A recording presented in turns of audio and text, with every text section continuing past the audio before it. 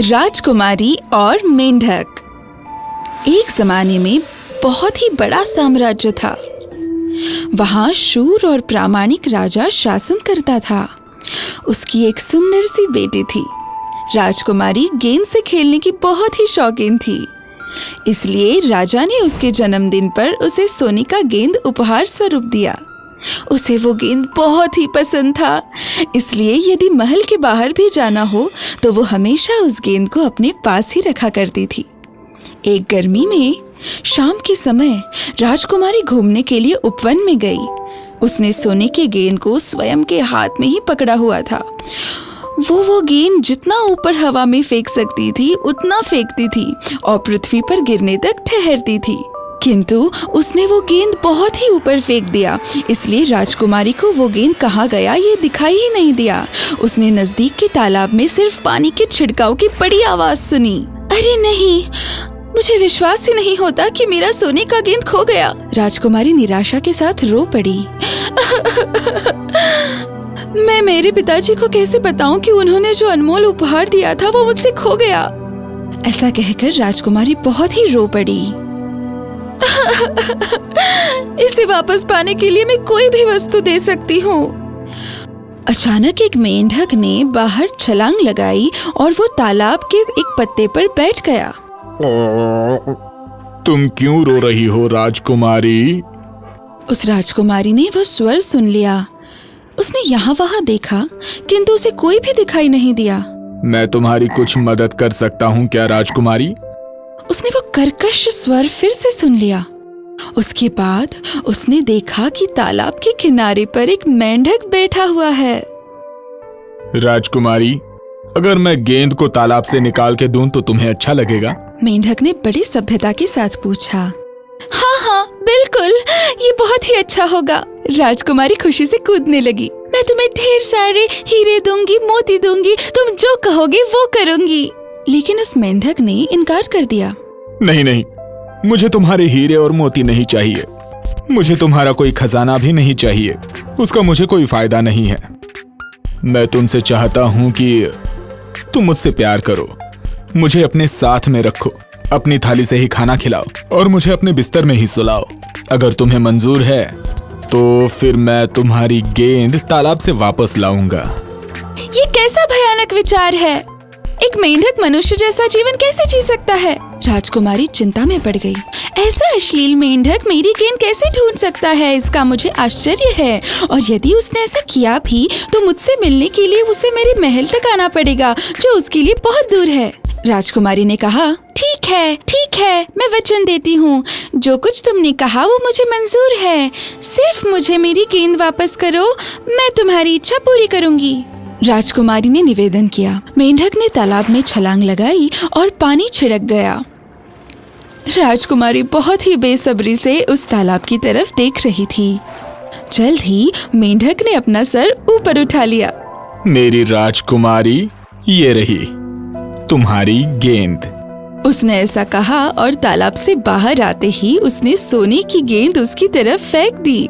उसने उसकी पसंद की चीज़ ले ली और खुशी से महल की तरफ़ दौड़ने लगी। मेंढक उसे पुकारकर उसे दिए हुए वचन के बारे में याद दिलाने लगा लेकिन वो भूल चुकी थी। रुक जाओ राजकुमारी रुक जाओ। क्या तुम भूल चुकी हो अपना वचन? मुझे अपने साथ लेकर चलो। किंतु वो पीछे मुड़ी ही नहीं। अगले ही दिन जब राजकुमारी परिवार के साथ खाना खाने के लिए बैठी थी उस वक्त किसी ने धीरे से दरवाज़ा खटखटाया। राजकुमारी दरवाजे के पास आई और तालाब के मेंढक को देखकर वो आश्चर्यचकित हो गई क्योंकि उसने स्वयं महल तक पहुँचने में जीत हासिल की थी ना। राजकुमारी ने छट से दरवाज़ा बंद कर दिया और फिर से टेबल पर जाकर बैठ गई। क्या हुआ? तुम इतनी उदास क्यों हो मेरी बच्ची? उसके पिताजी ने कहा लेकिन पिताजी, राजकुमारी ने कहा, उसे समझ नहीं आ रहा था कि तालाब के पास जो कुछ हुआ, उसे कैसे समझाए? मेरे जन्मदिन पर आपने दिए हुए गेंद के साथ मैं खेल रही थी। मुझसे वह तालाब में गिर गया। वहाँ पत्ते पर एक मेंढक बैठा था और उस मेंढक ने उसे तालाब से निकालने में मेरी मदद की थी। बदले में मैंने उसे ऐसा वचन दिया था कि मैं उसके साथ यहाँ रहूँगी। राजा ने कुछ देर विचार किया और फिर कहा तुम राजकुमारी हो और राजकुमारी झूठा आश्वासन नहीं दे सकती। तुम्हें तुम्हारा वचन पूरा करना होगा। राजकुमारी दरवाज़ा खोलने के लिए गई और मेंढक ने छलांग लगाई और उसके कर्कश स्वर में कहा सुनो मुझे खाने की मेज तक ले चलो ताकि मैं कुछ खा सकूँ। राजकुमारी ने उसके पिताजी की तरफ़ देखा और अनिच्छा से ही उसने उस मेंढक को उठाया और टेबल की तरफ़ लेकर गई और उसे टेबल पर बिठा दिया। उसने घृणा से अपना हाथ साफ़ किया। उसके सोने की थाली में मेंढक ने खाना शुरू किया और टप टप टप टप आवाज़ शुरू कर दी। खाना खाने के बाद मेंढक ने फिर से कहा अब मैं बहुत थक गया हूँ। मुझे शयन कक्ष ले चलो और अपने बिस्तर में मुझे लिटाओ। मैं कुछ देर आराम करना चाहूँगा। राजकुमारी स्वयं की घृणा करने लगी। मुझे ऐसे कितने दिन जीना होगा? इस गंदी चीज़ से मुझे कब छुटकारा मिलेगा? राजकुमारी उसे अपने कमरे की तरफ़ लेकर गई और उसने उसे सामने ही एक तकिए पर रख दिया। दिए हुए वचन के अनुसार मेंढक राजकुमारी के आगे सो गया और सुबह होते ही उसने छलांग लगाई और महल से बाहर निकल गया। चलो जान छोटी। उठते ही राजकुमारी ने राहत की सांस ली और उसने देखा तो मेंढक चला गया था। मैंने उसकी इच्छा पूरी की है अब वो फिर से मुझे नहीं सताएगा। किंतु वो गलत थी क्योंकि शाम को मेंढक फिर से आ गया। जिस समय उसने धीरे से दरवाज़ा खटखटाने की आवाज़ सुनी, उस समय वो पहले से ही बिस्तर पर थी। दूसरे दिन सुबह राजकुमारी जगी और उसने देखा तो मेंढक फिर से आ गया था। किंतु शाम हो गई और फिर से मेंढक ने तीसरी बार दरवाज़ा खटखटाया। हर दिन मेंढक के साथ सोने से राजकुमारी को घृणा आ गई और वो उससे छुटकारा पाने का विचार करने लगी। उसके मन में विचार शुरू थे, उसी वक्त वह सो गई। जब वह सुबह उठी, तब उस वक्त मेंढक चला गया था। और एक भूरी आँखों वाला राजकुमार उसे ताक रहा था। वो आश्चर्यचकित हो गई, किंतु एक ही रात में ये सब ठीक कैसे हो गया, ये उसे समझ नहीं आ रहा था। राजकुमार ने उसके शापों की संपूर्ण दर्दनाक कहानी उसे बता दी और उसने आगे कहा, मैं राजकुमार था और तुम्हारी तरह महल में रहता था, लेकिन एक दिन एक दुष्ट मांत्रिक ने मुझे शाप दिया। उसी वजह से मुझे ऐसी राजकुमारी को ढूंढना था जिसके साथ मैं तीन दिन रह सकूँ शाप मुक्ति के लिए। अब मैं बहुत खुश हूँ कि तुम वही राजकुमारी हो जिसने मुझे तकलीफ़ से बाहर निकाला। अपने जीवन में अद्भुत, सुंदर राजकुमार मिलने पर राजकुमारी बेहद खुश थी। जल्द ही दोनों ने शादी कर ली और राजकुमारी के पिताजी के महल में दोनों खुशी से रहने लगे। समाप्त।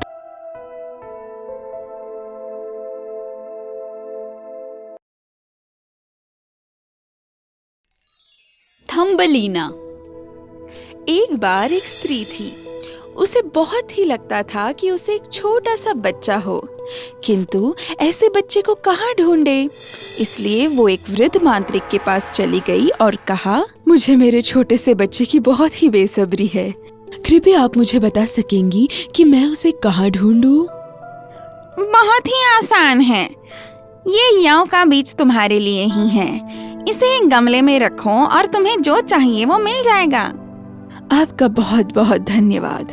उसने वो बीज लिया और जैसे ही वो घर गई, उसने उसे बो दिया। जल्द ही उसका परिवर्तन बड़े फूल में हो गया। वो एक घंटे की तरह दिखने लगा, किंतु उसकी पनखुड़िया कस थी, उसमें कली भी थी। ये कितना खूबसूरत फूल है।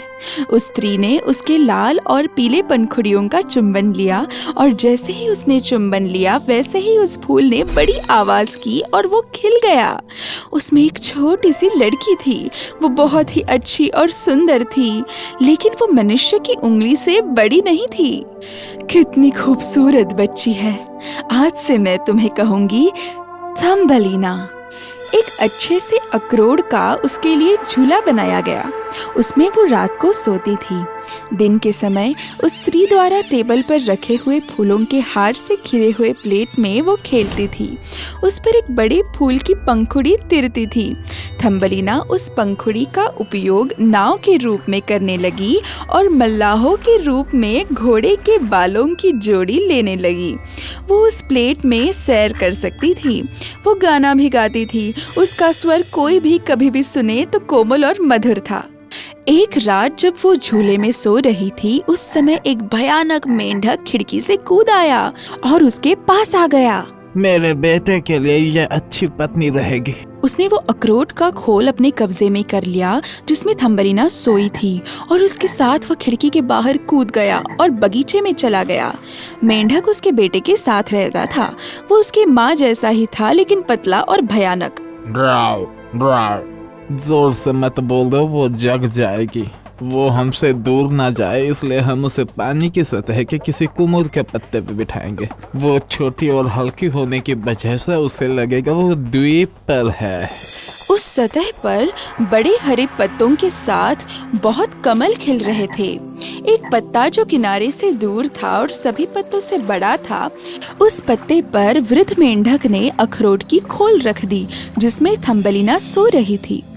अगले ही दिन बेचारी छोटी थम्बलिना उठ गई और जब उसने देखा कि वो कहाँ है, वो ज़ोर से रोने लगी। उस बड़े पत्तों की चारों ओर पानी ही पानी था और उसे किनारे तक जाने के लिए कोई रास्ता नहीं था। थम्बलिना नीचे बैठी और रो पड़ी। उसके पास में ही नीचे पानी में तैरने वाली छोटी मछलियाँ थी। उस छोटी लड़की को देखने के लिए मछलियाँ ऊपर आ गई। जब उन्होंने उसे देखा, तब उन्हें बहुत बुरा लगा। उन सभी ने पत्तों से जुड़े हुए डंठल को घेर लिया और अपने दांतों से उसे अलग कर दिया। वो पत्ता बहने लगा और थम्बलीना उस मेंढक से दूर चली गई। इतनी दूर कि वो उसे पकड़ ही नहीं पाया। अब वो जिस जगह पर थी, वो जंगल की धार थी। वहाँ बड़ी अनाज की खेती थी, किंतु वो अनाज बहुत पहले ही निकाला गया था। स्तंभित भूमि के बाहर सिर्फ़ सूखे, नंगे डंखल ही थे। माना वह बड़े जंगल में फंसी थी, फिर भी वहाँ सिर्फ़ उतना ही था। उसके बाद वो खेत के चूहे के दरवाजे के पास गई, जिसके पास छोटे डंठल थे। उस गर्म आरामदायक कमरे में चूहा रहता था। थम्बलीना उसके दरवाजे के पास खड़ी थी, बिल्कुल किसी भिकारी की तरह, और थोड़े से खाने के लिए प्रार्थना करने लगी। उसे बहुत भूख लगी थी। अरे, उदास, छोटी लड़की। तुम्हें मेरे गर्म कमरे में आना चाहिए और खाना खाना चाहिए। बदले में तुम्हें मेरा कमरा साफ़ रखना होगा और मुझे सुंदर सुंदर कहानियाँ सुनानी होगी। मुझे कहानियाँ बहुत पसंद है। खेत में रहने वाले उस बूढ़े दयालु चूहे का कहना थम्बलिना ने मान लिया और उसे कहानियाँ सुनाने में बहुत मज़ा आया। कुछ समय बीत गया और एक दिन खेत का चूहा थम्बलिना के पास आया हमारे पास एक मेहमान आने वाला है। सप्ताह में एक बार मुझे देखने के लिए मेरे पड़ोसी आते हैं और वे मुझसे भी अच्छे हैं। यदि तुम उसे पति के रूप में स्वीकार करोगी तो वो तुम्हारा बहुत ही अच्छा ख्याल रखेगा।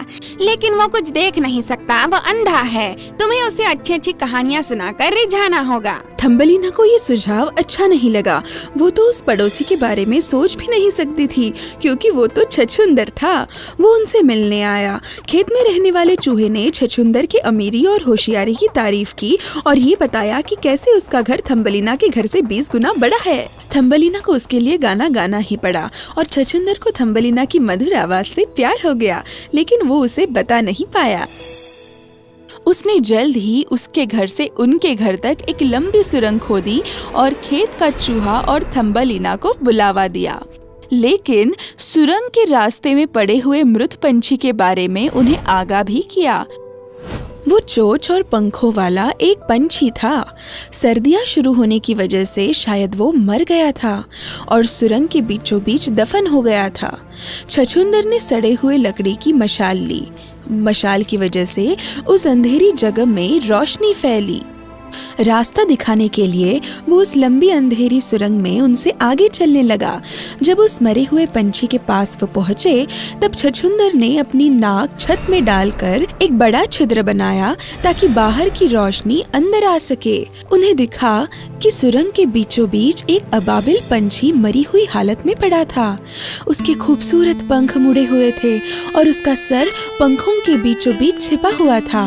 थम्बलिना को उसके लिए बहुत बुरा लगा लेकिन छछुंदर ने उसके छोटे पैरों से उस पंछी के शरीर को लात मारी और कहा ये बहुत अच्छा है कि मेरे होने वाले बच्चे पंछी नहीं होंगे। उनकी मीठी चहचहाट उन्हें भूख और ठंड से मरने से तो नहीं बचा सकती। थम्बलिना शांत रही लेकिन सभी ने उस पंछी की तरफ़ पीठ कर ली। थम्बलिना झुकी उसने मुड़े हुए सिर के पंछी के पंखों को विलक किया और उसके बंद आँखों का चुंबन लिया। गर्मी के दिनों में मधुर गाना गाने वाला शायद यही था।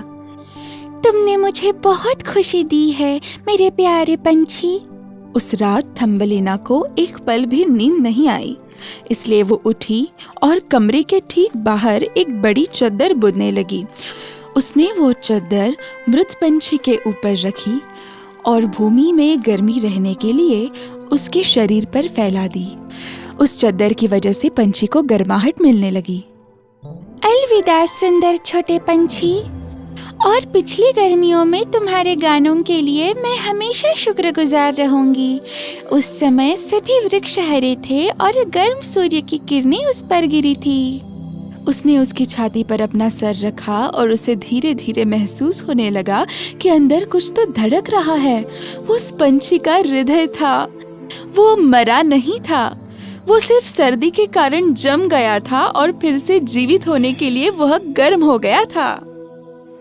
शुक्रिया, नन्ही लड़की। अब मैं बिल्कुल गर्म हो गया हूँ। चलो मेरे दोस्त, इस हरे जंगल से दूर उड़कर जाने के लिए तुम मेरे पीठ पर बैठ सकती हो।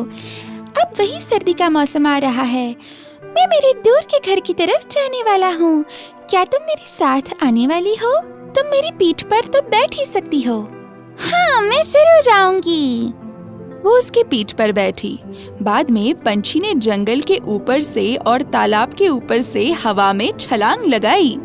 बहुत ही दूर वे उस पंछी के घर पहुँचे। सूरज हमेशा से ज़्यादा ही चमक रहा था और ऐसा लग रहा था कि आसमान हमेशा से दुगनी ऊंचाई पर है।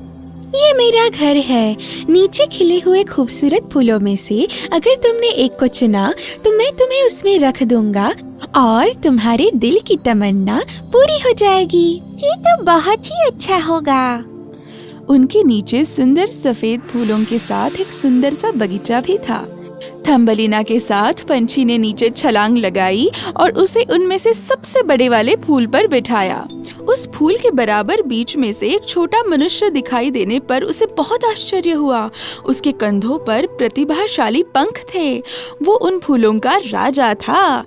लेकिन थम्बलिना को देखकर उसे बहुत खुशी हुई, क्योंकि उसने इतनी खूबसूरत छोटी सी लड़की कभी देखी ही नहीं थी। इसलिए उसने अपने सर का ताज निकालकर थम्बलिना के सर पर रख दिया। उसने कहा कि उसे उसका नाम जानना है और क्या वो उसकी पत्नी होने के लिए तैयार है? हाँ मैं तैयार हूँ लेकिन तुम्हें मेरी माँ को यहाँ लाना होगा। उसके बाद ही हम तीनों खुशी से रह पाएँगे। वो मान गया और थम्बलिना के लिए वो पंखों की जोड़ी भी लेकर आ गया। दोनों खुश हुए और जल्द ही थम्बलिना की माँ भी वहाँ आ गई। मेरी थम्बलिना तुम्हें वापस पाकर मैं कितनी खुश हूँ, ये तुम नहीं समझ पाओगी। और तीनों खुशी खुशी रहने लगे। कहानी पूरी हुई।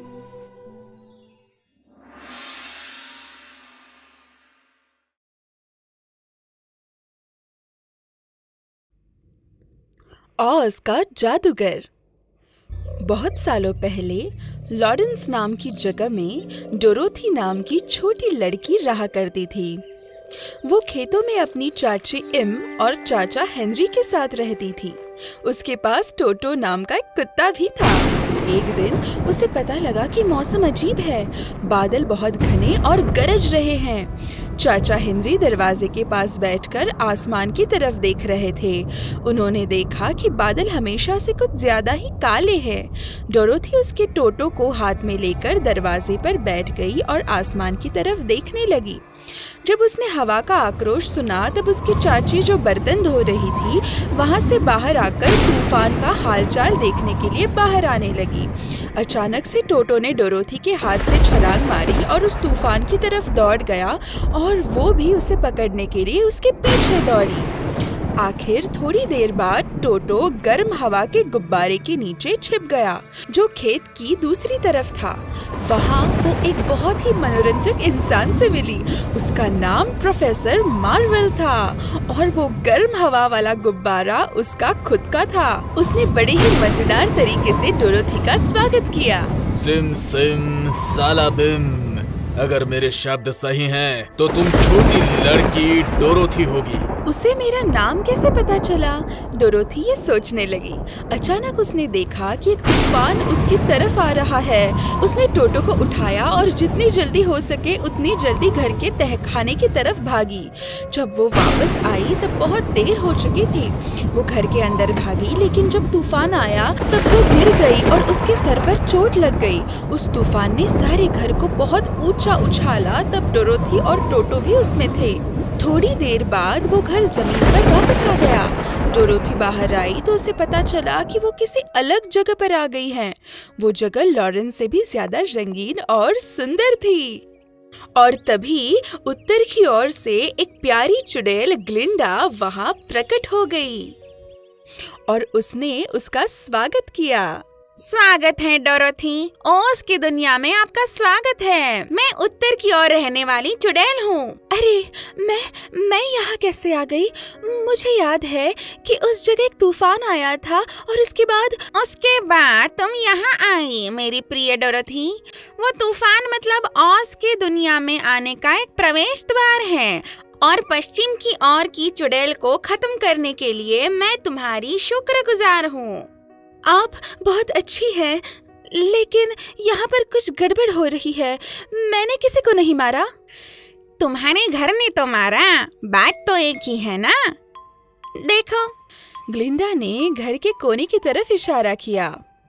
ये देखो, उसके दो पैर अभी भी लकड़ी के टुकड़े से बाहर दिख रहे हैं। डोरोथी ने उस पर विश्वास रखा और डर के मारे रोने लगी।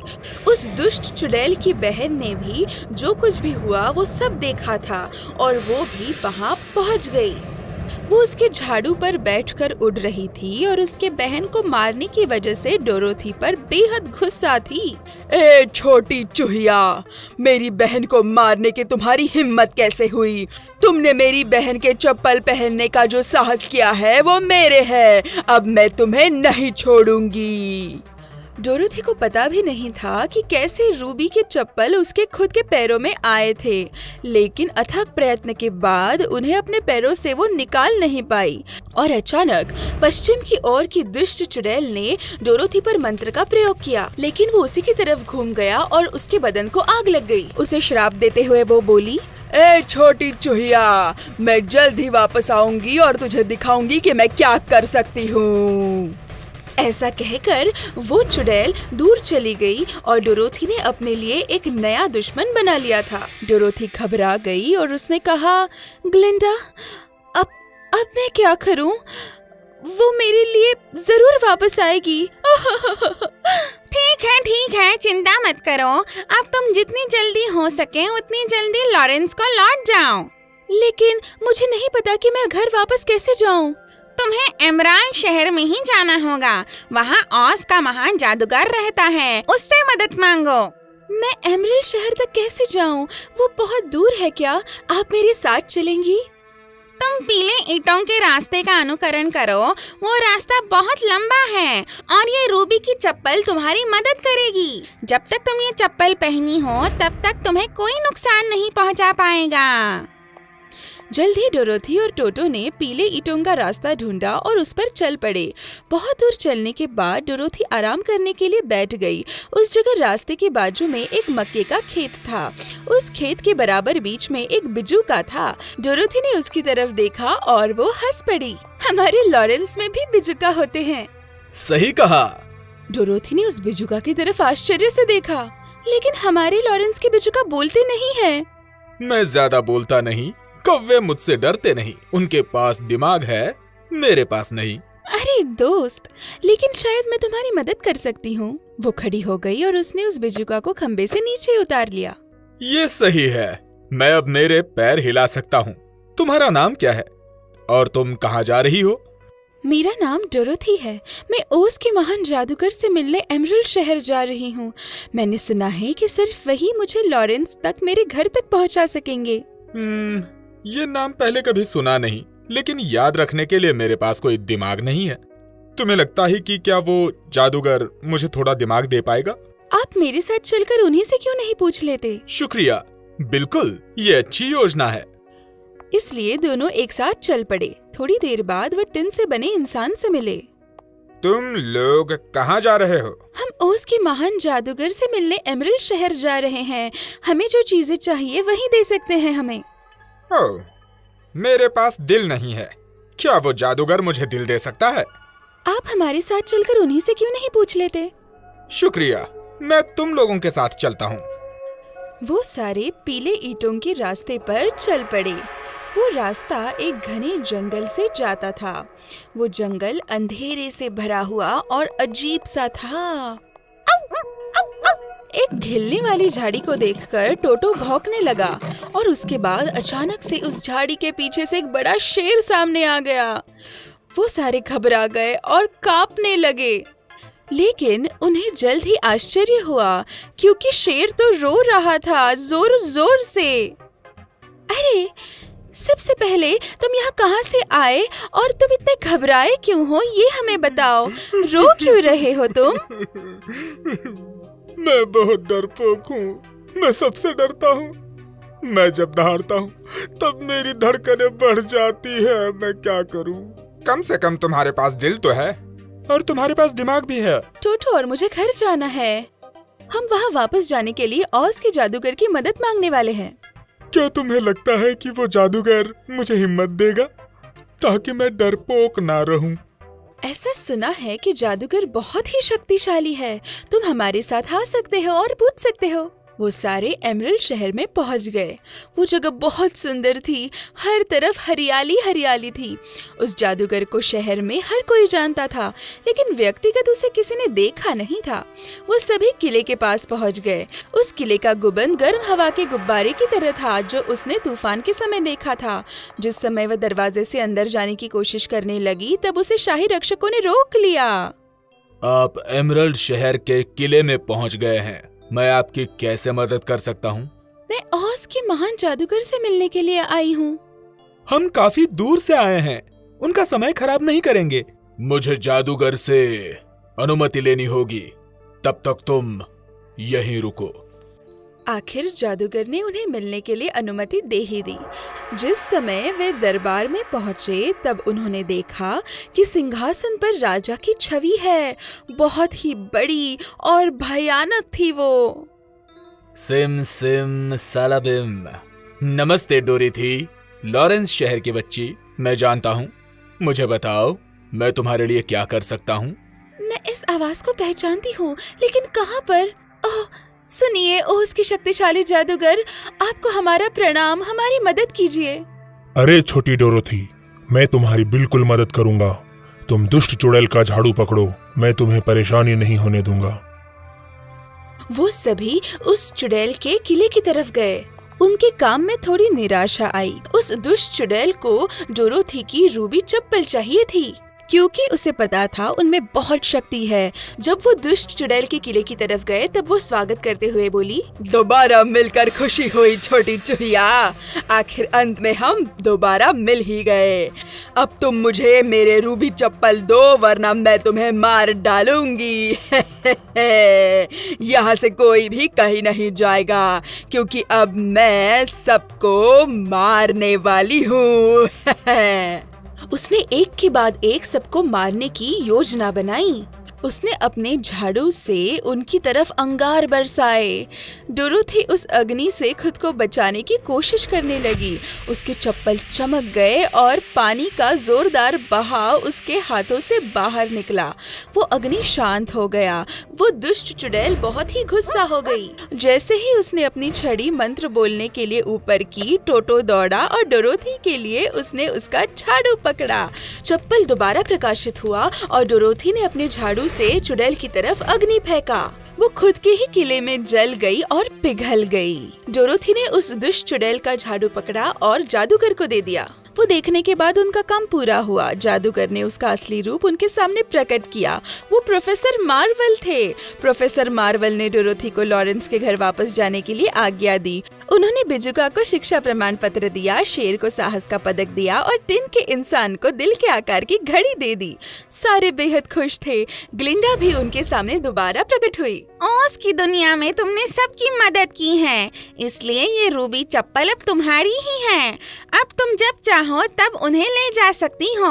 और कभी भविष्य में तुम्हें मेरी ज़रूरत पड़े तो सिर्फ़ चप्पल एक दूसरे पर तीन बार पटकना, और मैं तुम्हारे लिए वहाँ प्रकट हो जाऊँगी। डोरोथी ने सभी दोस्तों को अलविदा कहा।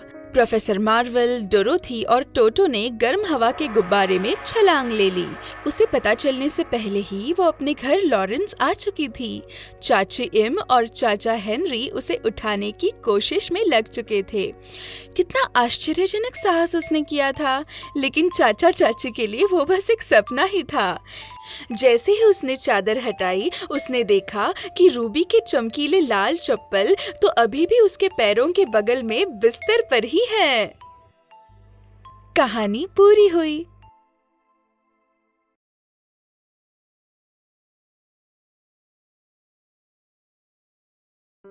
अद्भुत प्रदेश में एलिस। स्वीट विले नाम के एक छोटे से गाँव में एक सुंदर सी लड़की रहती थी, जिसका नाम था एलिस।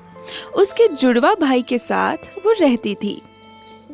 उनके पास, उनके घर के पीछे एक सुंदर और रंगी बेरंगी बगीचा भी था। एलिस उस बगीचे में अपने भाई के साथ खेलती थी और थकने पर पेड़ के नीचे बैठ जाती थी। एक दिन जब वो पेड़ के नीचे आराम कर रही थी, तब एक सफ़ेद खरगोश उसके पास आ गया। उसे देखकर वो चौंक गई, क्योंकि उस खरगोश के बारे में कुछ तो उल्लेखनीय था। उसने मनुष्य जैसा जैकेट पहना था और एक पुराने डायल की घड़ी निकाल कर उसने कहा, अरे बाप रे, अरे बाप रे मुझे देर हो जाएगी। वो उस खरगोश की तरफ़ चौक कर देखने लगी और वो जो कह रहा था उसे सुनने की कोशिश करने लगी। उसे आश्चर्य हुआ और उसकी बढ़ती जिज्ञासा के साथ उस जगह वो जल्द ही उसके पीछे दौड़ने लगी। उसने देखा कि वो खरगोश एक बड़े से सुरंग में कूद रहा है। उसके पीछे पीछे एलिस भी कूद गई। उसे कुछ समझ आता, इससे पहले ही उसे एहसास हुआ कि वो भी नीचे गिर रही है। या तो मैं बहुत ही धीरे से गिर रही हूँ, या तो ये सुरंग बहुत ही गहरी है। जल्द ही किसी पत्ते की तरह वो उसके पैर पर उस चमकीले फर्श पर उतरी। उसने देखा कि उस छोटे कमरे में तीन सुंदर लकड़ी के नक्शीदार दरवाजे हैं। वो सभी अलग अलग आकार और रंग के थे। पहला दरवाज़ा लाल रंग का था और एलिस के आकार के आधा था। दूसरा दरवाज़ा सफ़ेद था और एलिस के अंदर जाने के लायक था। तीसरा दरवाज़ा हरा था और बहुत ही छोटा था। एलिस ने एक एक दरवाज़ा जाँच लिया और वो सभी बंद थे। उस कमरे के बराबर बीच में उसने एक पुराना लकड़ी का टेबल देखा। उस पर सोने के चाबी के सिवाय दूसरा कुछ भी नहीं था। उस पर लिखा हुआ था, मेरा उपयोग करे। उसकी आँखें खुशी से चमकने लगी और उसने वो चाबी उठाई और पहले दरवाजे पर प्रयोग किया। या तो उस चाबी का छिद्र बहुत ही बड़ा था, अन्यथा वो चाबी बहुत ही छोटी थी। वो उस लाल दरवाजे के लायक नहीं थी इसलिए उसने सफ़ेद दरवाजे पर प्रयोग किया। वो चाबी उस सफ़ेद दरवाजे के लिए भी नहीं बनी थी। फिर उसने उस चाबी से हरा दरवाज़ा खोलने की कोशिश की और दरवाजे का ताला खुल भी गया। एलिस ने दरवाज़ा खोला और घुटने टेकते हुए अंदर चली गई। उसने कल्पना भी नहीं की होगी ऐसा बगीचा उसने देखा। बड़े निराशा के साथ वो आश्चर्यचकित हो गई। मुझे उस दरवाजे के अंदर जाने की बहुत इच्छा है। दूसरे दो दरवाजे खोलने के लिए चाबी ढूँढने की आशा से वो उस टेबल की तरफ़ लौट आई। लेकिन उस वक्त उसने एक बोतल ढूंढी, उसमें हरी चमकती औषधि थी। उस पर भी मुझे पियो ऐसी टिप्पणी लिखी थी। एलिस ने उसे थोड़ा पी तो लिया, उसे थोड़ा शक तो हो रहा था, लेकिन उसे हरे दरवाजे के अंदर भी जाना था। उसने वो दवा पी और उसके साथ कुछ अजीबो गरीब होने लगा। उसने देखा कि वो कमरा बड़ा होता जा रहा था और उस वक्त एलिस छोटी होती जा रही थी। ये क्या अजीब एहसास है? अब वो बोतल भी नहीं पकड़ पा रही थी। अब वो सिर्फ़ कुछ इंच की ही हो गई थी। उसका चेहरा सिर्फ़ एक ही विचार से खिला हुआ था कि अब वो छोटे दरवाजे से सुंदर बगीचे में जा सकती थी। वो सुंदर बगीचे में चली गई। उस जगह चारों ओर बहुत बड़े चॉकलेट के पेड़ थे। चारों ओर टॉफी और कैंडी थी और आम, दूध की सुंदर नदियाँ बह रही थी। उसने देखा कि अलग दिखने वाले पेड़ सिर्फ़ पर्वत के ऊपर ही थे। अचानक वही सफ़ेद खरगोश एलिस के सामने आ गया और अहंकार के साथ उसने कहा अरे ओ पतली लड़की तुम कठपुतली की तरह क्यों खड़ी हो? मेरे घर से मेरे ग्लव्स ला कर दो। तुम जानती नहीं कि मुझे टी पार्टी के लिए देर हो रही है हाँ हाँ महाशय क्या आप मुझे बता सकते हैं कि आपका घर आखिर है कहाँ? अरे छोटे मूर्ख चूहे तुम पीछे वाले चॉकलेट के संगे मरमर के रास्ते से जाओ और तुम्हें छोटी पहाड़ी पर गाजर के आकार का केक दिखेगा। वही मेरा घर है। अब तुम जाओ। शुह शुह। ध्यान रहे, मेरे घर पे कुछ भी तुम्हें खाना नहीं है, वरना तुम्हें भुगतना पड़ेगा। एलिस को उसके बात करने का तरीका पसंद तो नहीं आया, लेकिन वो काफ़ी परेशान और घबरा गई थी, इसलिए सवाल न करते हुए उसके पीछे जाने लगी। उसने गलती से मुझे अपनी नौकरानी समझ लिया होगा। वो सफ़ेद खरगोश के छोटे से घर में चली गई। टेबल पर ही उसे ग्लव्स का एक जोड़ा दिखा और उसके ऊपर एक सुंदर केक भी दिख गया। उस पर लिखा था मुझे खाओ। यम! लेकिन खरगोश ने पहले ही कुछ भी खाने से इनकार किया है। अब मैं क्या करूँ? ऐसे में केक का एक छोटा सा टुकड़ा खाने में क्या हर्ज है? उसने तय कर लिया। जैसे ही उसने वो केक खाया, उसका आकार बढ़ने लगा। किंतु वो उसके मूल आकार पर भी नहीं रुकी। सच में वो बहुत ही बड़ी होने लगी, इसलिए उसका सर छत से टकरा गया। वो हिल नहीं पा रही थी और अटक गई। हो, मैं अटक गई। कोई मेरी मदद करो, कोई मदद करो। एलिस ने वो घर तोड़ दिया और बाहर आ गई। वो बहुत ही डर चुकी थी और एक ही दिन में उसने काफ़ी साहस कर लिया था। जल्द ही वो पास के जंगल में दौड़ गई और चॉकलेट के मशरूम के बाजू में बैठ गई। हे hey भगवान मेरे साथ ये क्या हो रहा है? मैंने क्या गलत किया है?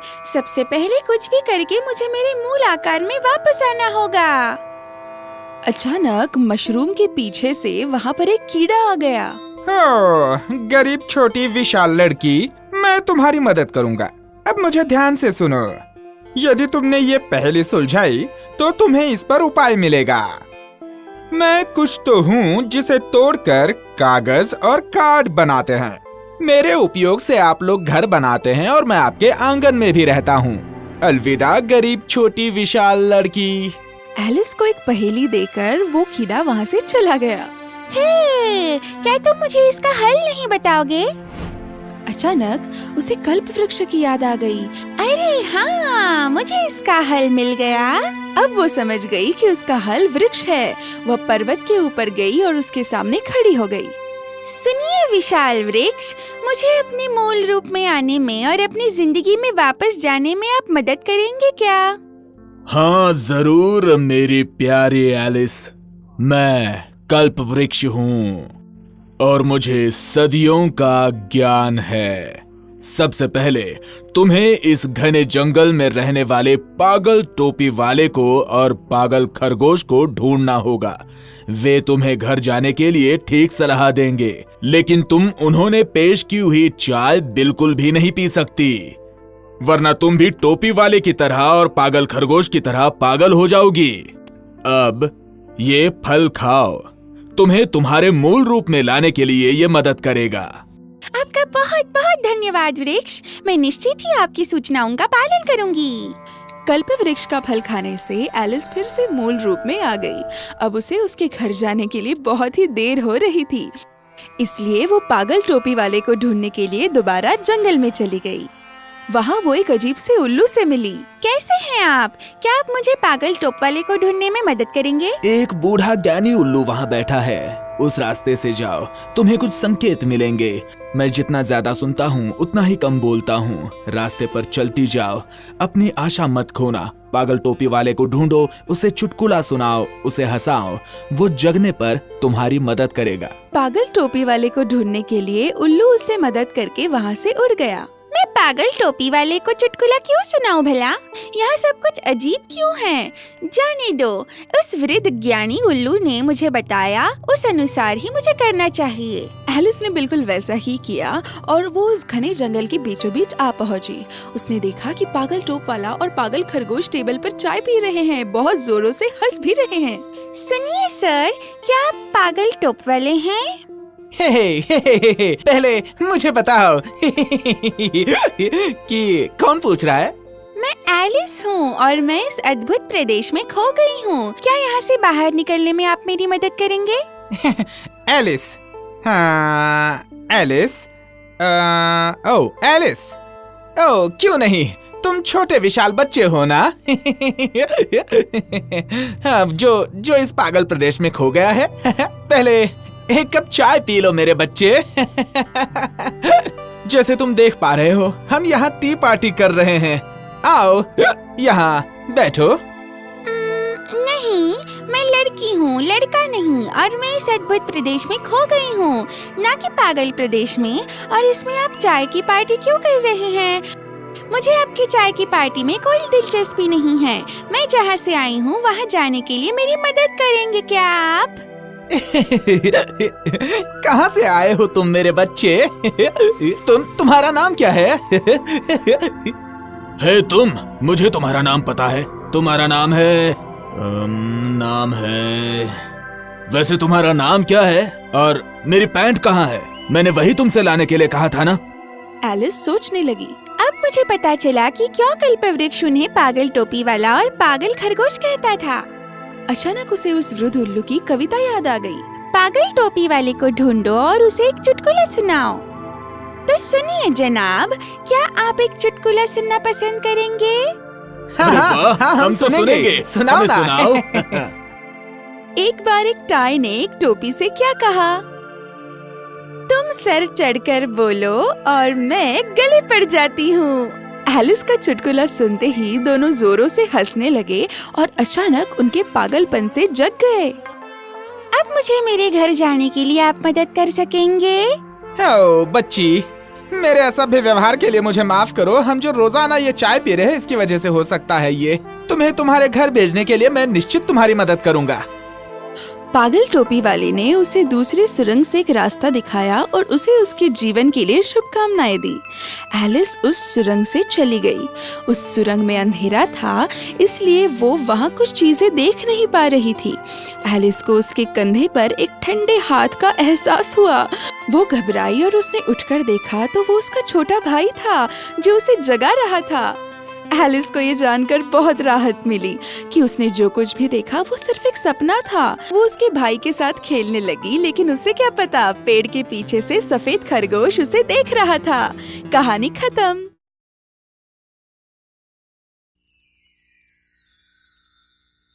राजकुमारी और मटर। एक समय की बात है। एक राजकुमार था जो शादी करना चाहता था। क्योंकि वो राजकुमार था, उसे चाहिए थी एक राजकुमारी। रानी ने उसे बड़े अनुशासन से पाला था। इसलिए राजकुमार का यह आग्रह था कि उसके होने वाली पत्नी भी सही मायनों में राजकुमारी हो। उनके राज्य में ऐसी कोई राजकुमारी न थी, जो राजकुमार के लिए उचित हो। इसलिए राजकुमार पत्नी की तलाश में सारी दुनिया घूमने लगे। पर जितनी भी राजकुमारियों से वो मिले, उनमें कोई न कोई खामी थी। किसी की नाक ऊँची थी तो किसी का कद छोटा, किसी की चाल में खोट थी तो किसी की आवाज़ में। ऐसी कोई राजकन्या उसे नहीं मिली जिसे वो अपनी रानी बना सके। वो निराश होकर अपने राज्य लौट आया। उसने सोचा कि शायद उसके नसीब में पत्नी का सुख था ही नहीं। एक दिन जब वो अपने महल वापस पहुँचे, अचानक जोरों की बारिश होने लगी। आसमान में काले बादल छा गए और कड़कती बिजली की आवाज़ ने महल की दीवारों को हिला कर रख दिया। महल के सारे लोग एक जगह पर आग जलाकर कुदरत के इस कहर को देखने लगे। तभी महल के मुख्य द्वार पर किसी के खटखटाने की आवाज़ आई। राजकुमार के पिता ने, यानी महाराज ने जब दरवाज़ा खोला तो बाहर एक बहुत ही सुंदर राजकुमारी खड़ी थी। वो बारिश में भीग रही थी। उसके लंबे सुनहरे बाल और रेशम के जूतों से पानी टपक रहा था। उसने कहा कि वो एक राजकुमारी है। वो एक नजदीकी राज्य से अपने राज्य वापस लौट रही थी। उसकी ऐसी अवस्था को देखकर महारानी को विश्वास नहीं हुआ कि वो एक राजकुमारी है। रानी ने सोचा क्या ये सच बोल रही है? महाराज उसे महल के भीतर ले आए और सबसे परिचय करवाया। रानी ने कहा तुम्हारी इस कहानी पर यकीन करना मुश्किल है। मैंने कभी इतनी अस्त व्यस्त राजकुमारी नहीं देखी। चतुर रानी को दाल में कुछ काला नज़र आया। आखिर उन्हें महल की सुरक्षा जो करनी थी असलियत जानने के लिए उन्होंने एक युक्ति की। उन्होंने रसोई घर से एक सूखा मटर का दाना लिया और मेहमान कक्ष में राजकुमारी के बिस्तर के बीचों बीच रख दिया। फिर उन्होंने 20 रेशम से भी मुलायम गद्दे उस मटर के ऊपर रख दिए। इतने आकर्षक और मुलायम गद्दे किसी ने नहीं देखे होंगे। इन गद्दों से रानी की पसंद और पार की नज़र का अंदाज़ा लगाया जा सकता था। पहला गद्दा गहरे गुलाबी रंग का, पंछी के मुलायम पंखों से बुना हुआ था।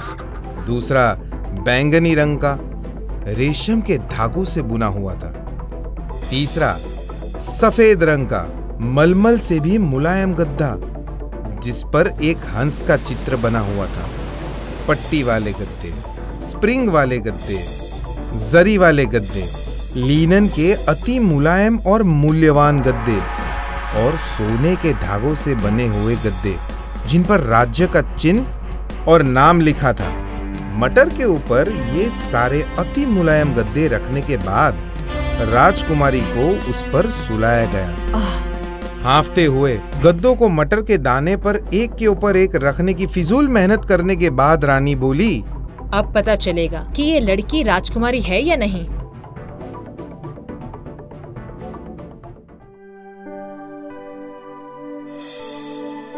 सुबह जब राजकुमारी नाश्ता करने आई तब वो काफ़ी अस्वस्थ थी। क्या तुम्हें अच्छी नींद आई? रानी ने पूछा। नहीं मैं नहीं सो पाई। राजकुमारी ने जवाब दिया। मेरे बिस्तर में मुझे कुछ चुभ रहा था। कोई ऐसी चीज़ जो पत्थर से भी ज़्यादा सख्त थी। मुझे लगता है वो तोपों में इस्तेमाल किया जाने वाला लोहे का गोला ही था। मेरे पूरे शरीर पर घाव के निशान पड़ गए हैं। सब ये सुनकर खुश हो गए।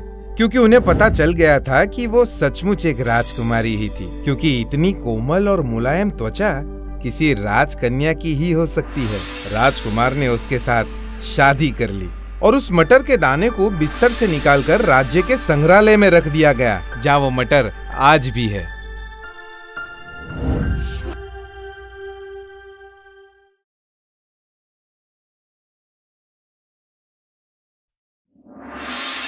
एक समय की बात है, दूर एक शहर में एक धनी आदमी अपनी तीन बेटियों के साथ रहता था।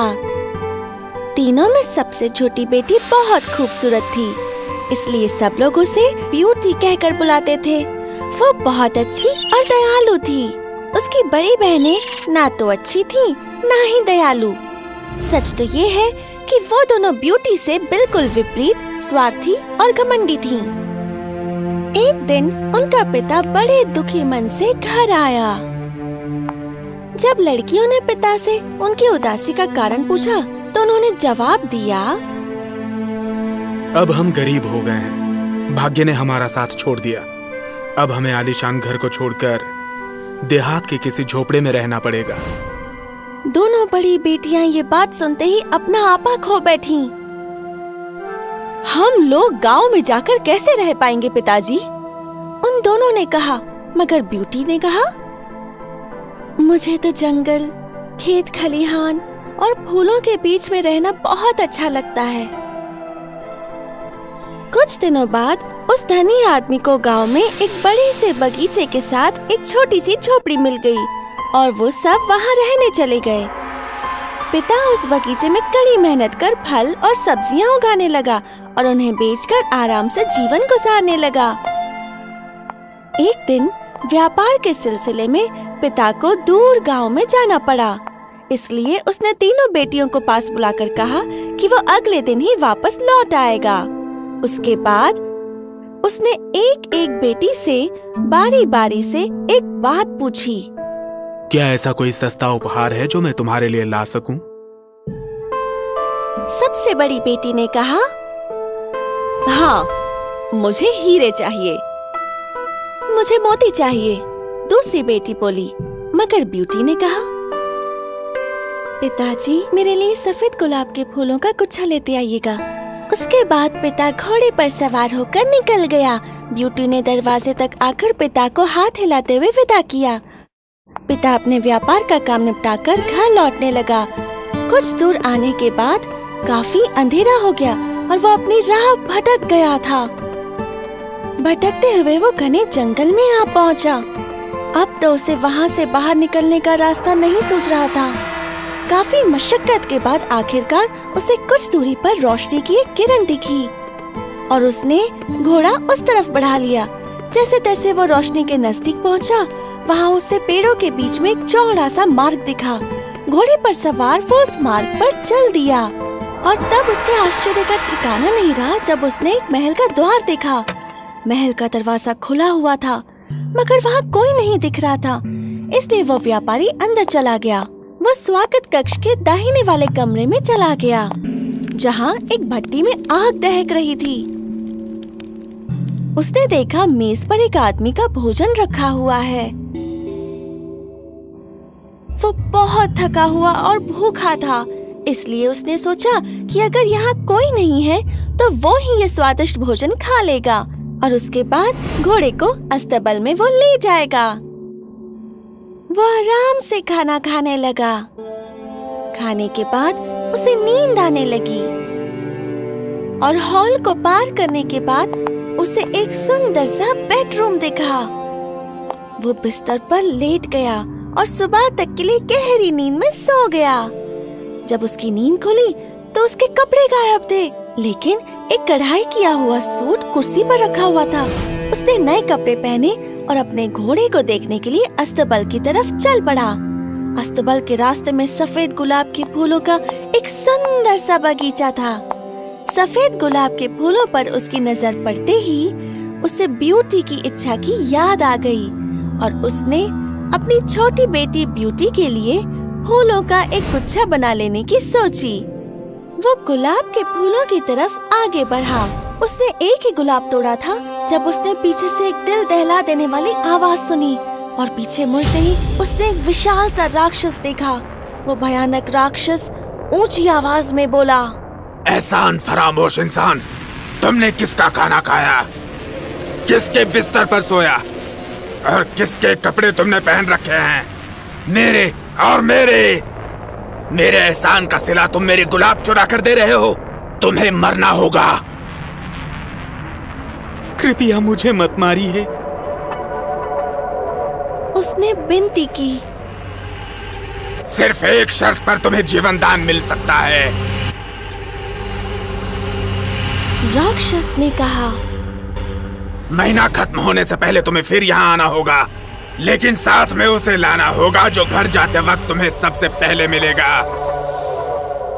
ब्यूटी के पिता के पास इस शर्त को स्वीकार करने के अलावा और कोई रास्ता नहीं था। जैसे ही वो अपने घोड़े पर सवार होकर महल से निकला, वो राक्षस से किए गए वादे के बारे में सोचने लगा। उसे ये याद आने लगा कि घर से जाते वक्त कैसे ब्यूटी ने दरवाजे पर खड़े होकर हाथ हिलाते हुए उसे विदा किया था। एक भयानक विचार से वो सिहर उठा। क्या होगा अगर ब्यूटी मेरे रास्ते में सबसे पहले आई तो? यहाँ ब्यूटी अपने कमरे की खिड़की पर खड़ी अपने पिता के वापस आने का इंतज़ार कर रही थी। जब उसने दूर घोड़े पर सवार एक आकृति को आते देखा तो वो कमरे से निकलकर बगीचे के मार्ग पर आ गई। हाँ ये उसके पिता ही थे जो लौटकर घर आ रहे थे। मगर ब्यूटी अपने पिता के साथ हुई घटना से अनजान थी। वो काफ़ी थके हुए और दुखी लग रहे थे। पिताजी आप मुझे देखकर खुश नहीं हुए? वो अपनी छोटी बेटी को गले लगाकर रोने लगे। जब वो झोपड़ी में पहुँचे तो पिता ने बेटी को राक्षस से किए हुए अपने वादे के बारे में बताया। लेकिन तुम मेरे साथ मत आना ब्यूटी। चाहे कुछ भी हो जाए। उसने कहा मगर ब्यूटी ने जिद करते हुए कहा कि जब एक बार कोई वचन दे दिया जाता है तो उसे निभाना ही पड़ता है। आखिरकार, उसका पिता इस बात पर राज़ी हो जाता है कि इस महीने के अंत में वो ब्यूटी को लेकर राक्षस के पास जाएगा।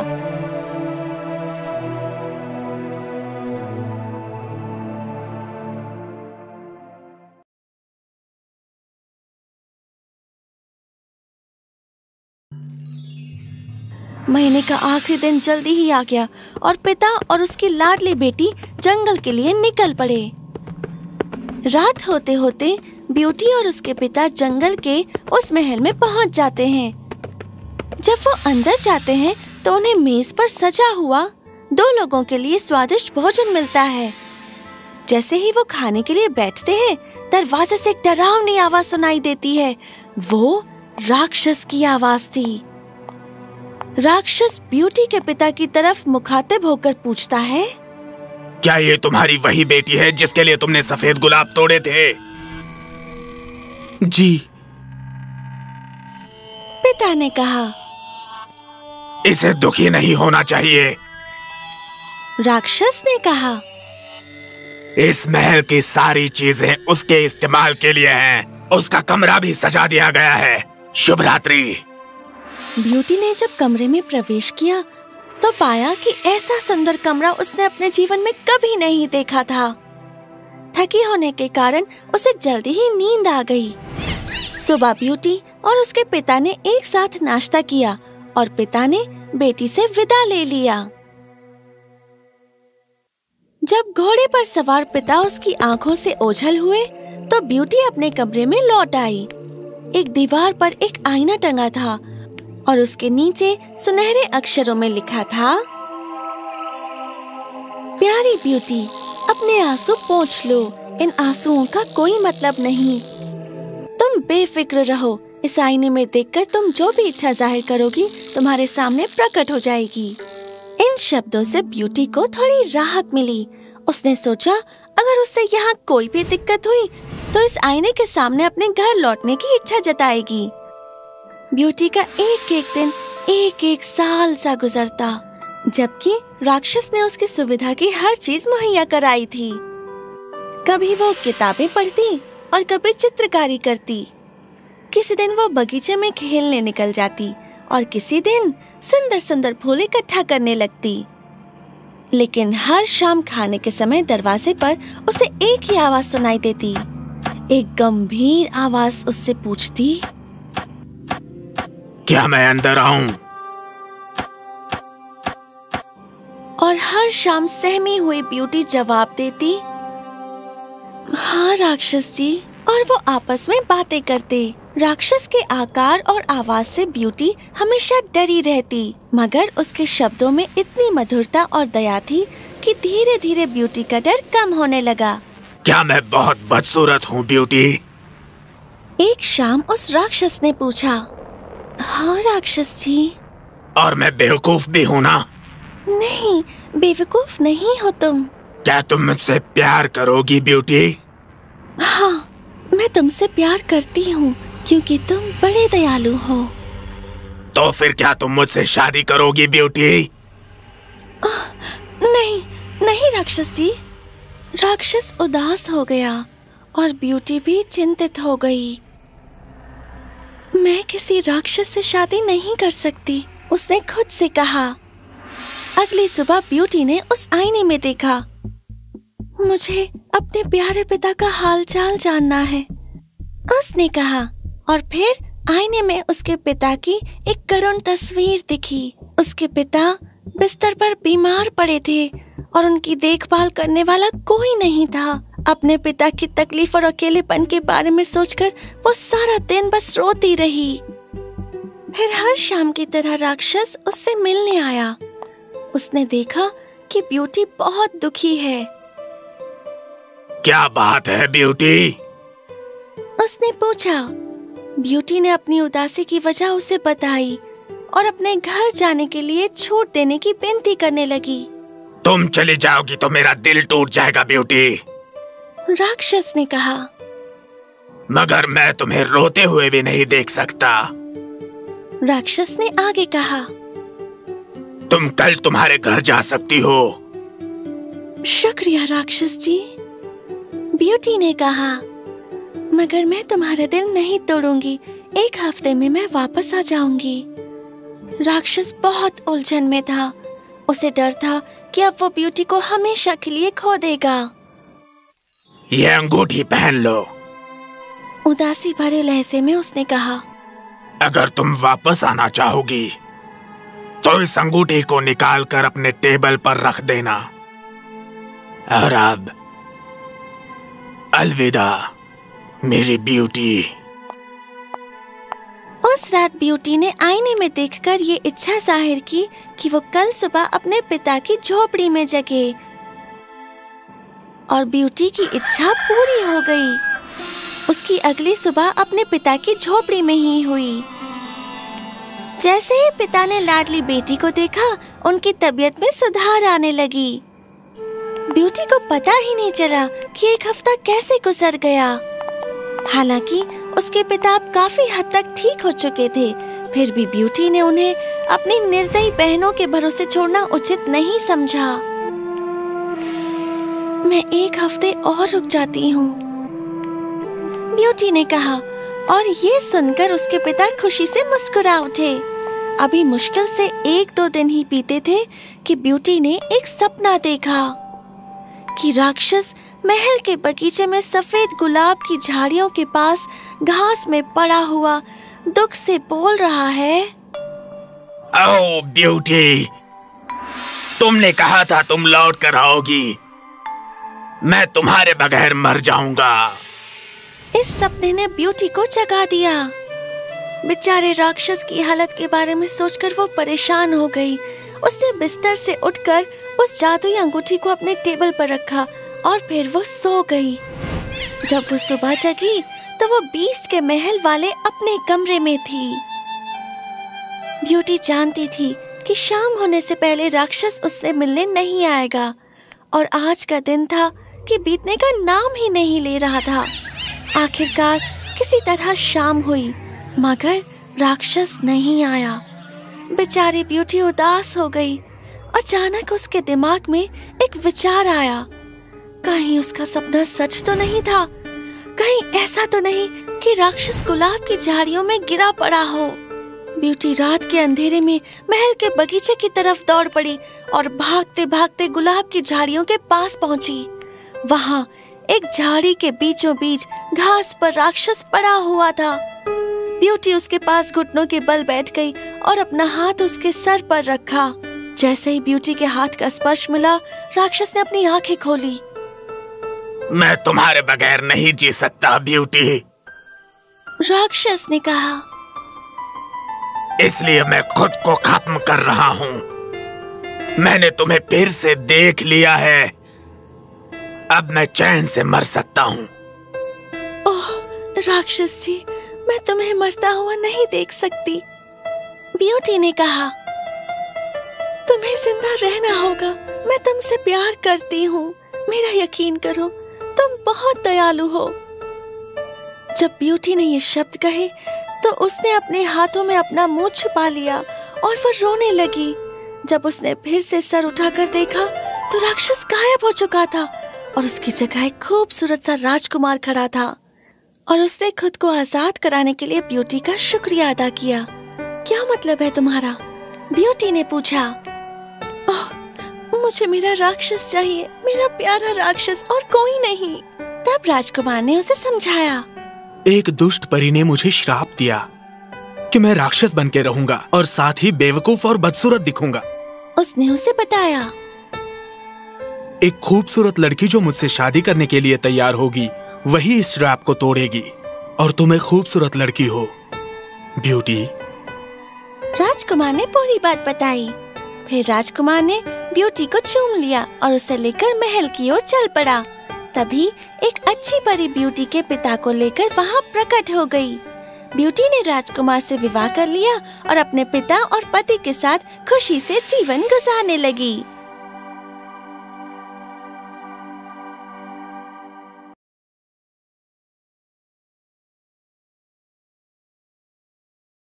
सिंड्रेला। एक बार एक बहुत अमीर आदमी था। उसकी पत्नी शादी के कुछ ही सालों बाद भगवान को प्यारी हो गई और पीछे छोड़ गई एक प्यारी सी नन्ही सी बच्ची। कुछ सालों बाद उस अमीर आदमी ने फिर से शादी की, पर उसकी दूसरी पत्नी बहुत ही लालची और घमंडी थी। वो अपनी दो नक्चड़ी बेटियों के अलावा किसी से प्यार नहीं करती थी। दोनों बेटियों को सिंड्रेला से बहुत ईर्षा होती थी। बहुत जल्द सौतेली माँ और सौतेली बहनों ने पूरे घर पर कब्जा कर लिया और उस नन्ही सी बच्ची को घर का नौकर बना दिया। वो बर्तन मांजती, झाड़ू पोछा करती। बेचारी, सूरज निकलने से पहले जाग जाती और ज़मीन पर गिरी कोयले की राख इकट्ठा करती, जिसकी वजह से उसके कपड़े हमेशा मैले रहते। वो घर से बाहर ताड़पत्री से बनी झोपड़ी में रहती और सूखे घास के ऊपर सो जाती। सर्दियों के समय झोपड़ी की छत से बर्फ़ अंदर आ जाती और पूरी झोपड़ी पर बर्फ़ की सफ़ेद परत जमा हो जाती। इस भीषण सर्दी से बचने के लिए वो रसोई घर में जलते हुए कोयले के सामने सो जाती। कोयले की राख सारी रात उस पर उठती और उसके सारे कपड़े मैले हो जाते। इसी वजह से उसकी दोनों बहनें उसे सिंड्रेला कहकर पुकारती। सिंड्रेला यानी कोयले की राख लगे कपड़ों वाली। असल में दोनों सौतेली बहनें सिंड्रेला से इसलिए जलती थी क्योंकि सारा दिन घर में मजदूरी करने के बाद इतने मैले कपड़े पहनने के बावजूद सिंड्रेला उन दोनों से कहीं ज़्यादा खूबसूरत थी। एक दिन राजा के बेटे ने महल में दावत बुलाई। उसने राज्य के सारे प्रभावशाली लोगों को दावत में आने का आमंत्रण भेजा। सिंड्रेला की सौतेली माँ और बहनों को भी न्योता भेजा गया। दोनों नक्चड़ी बहनें दावत में जाने की तैयारी करने लगी। नए कपड़े सिलवाए जाने लगे नए गहने बनवाए जाने लगे। इन सारे कामों की ज़िम्मेदारी उन्होंने सिंड्रेला को दे दी। उन रेशम के कपड़ों पर सिंड्रेला जरी लगाती उन्हें ध्यान से धोकर इस्त्री करती। मैं दावत में लाल जरी वाली ड्रेस पहनूँगी। बड़ी बहन खुश होकर बोली और छोटी ने कहा? मैं वो सुनहरे रंग का ड्रेस पहनूँगी। और साथ में ये कीमती हीरो के जेवर बहुत जचेंगे मेरे ड्रेस के साथ। बाल संवारने के लिए सबसे महँगे नाई बुलाए गए नकली बाल लगवाए गए। शहर की सबसे महँगी दुकानों से दर्जियों को कपड़े सीने बुलाया गया। चेहरा चमकाने के लिए खूब महँगे लाली पाउडर मंगवाए गए। जब सिंड्रेला उन्हें तैयार करने लगी तो बड़ी बहन ने उसे नीचा दिखाते हुए पूछा तुम नहीं जाना चाहती दावत में? ओ पर तुम कैसे जा सकती हो? तुम्हारे ये गंदे कपड़े देखकर वहाँ के सारे लोग तुम पर हंसने लगेंगे। सिंड्रेला की जगह कोई और होता तो ऐसी बातें सुनकर उन लड़कियों के बाल बिगाड़ देती। पर सिंड्रेला एक बहुत नेक दिल की लड़की थी। उसने ऐसा नहीं किया। दोनों सौतेली बहनें दावत में अच्छी दिखे, उसकी उसने पूरी कोशिश की। दावत वाले दिन सौतेली बहनें अपने कमरे में आईने के सामने घंटों तक अपने आप को देखती रहती। और खुद की प्रशंसा करती रहती। आखिरकार दावत पर जाने का समय नज़दीक आ गया। वो दोनों अपनी बग्घी में बैठकर खुशी खुशी निकल पड़ी राजा के महल की ओर। सिंड्रेला आँखों में उदासी लिए उनको जाते हुए देखती रही। वो बेचारी फिर से रसोई घर में जलते हुए कोयले के पास जाकर बैठ गई। अकेलेपन का दुख सिंड्रेला से बर्दाश्त नहीं हो रहा था। वो रोने लगी। अचानक एक आवाज़ आई। और एक परी खिड़की से रसोई घर में दाखिल हुई। उसकी आँखें चमकदार थी और उसे पंख भी लगे थे। उसके पास एक जादुई छड़ी थी।